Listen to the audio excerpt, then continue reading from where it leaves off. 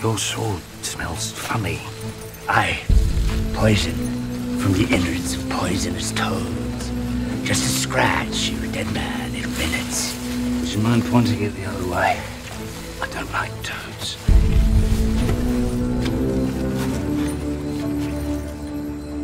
What are you doing? Planning an escape route. Isn't that how you do it? Yes.